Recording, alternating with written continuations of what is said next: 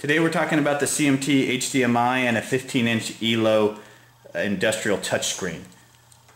They come with these little remotes and you can actually turn it on and turn it off with this. So we're going to turn it off, then we're going to turn it right back on. Uh, these have a maximum resolution of 1024 by 768 and that's recommended. You can use lower resolutions like 800 by 600 resolution as well. We're going to show you how to calibrate the touchscreen now. Okay, so we're going to show you how to calibrate the screen uh, using a laptop and a wireless connection. That's the best way to do this. So when we get to this screen, what we're going to do is we're going to put our password in. It's uh, just six ones, one one, one one, one one, enter.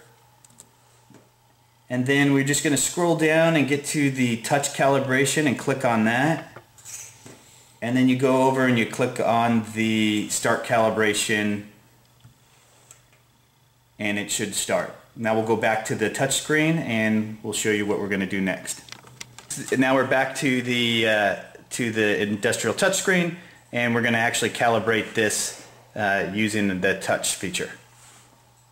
So just touch the one in the top corner and as, you touch them they're going to move around the screen and you just follow it around. It's pretty straightforward, pretty simple. When it gets to the middle of the screen you'll actually get a, a pop-up and you have about 10 seconds to drag it into the OK box.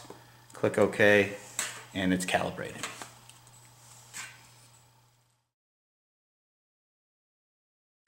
So if your USB cable somehow gets to disconnected and your touch isn't working, when you do get it plugged back in, it takes about it takes about 10 seconds for you to actually get the touch mode back. So you can see that I don't have touch yet, but if we wait a little bit, roughly 10 seconds, now it's starting to work. See our, our touch is working again. So just be aware of that. That's one of the things that you might run into.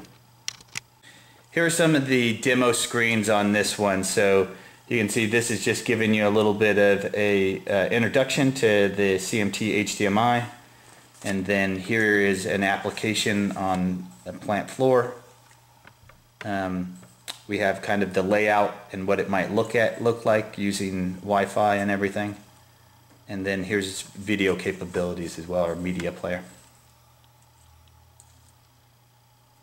And here's a here's a scoreboard actually reading data and displaying data.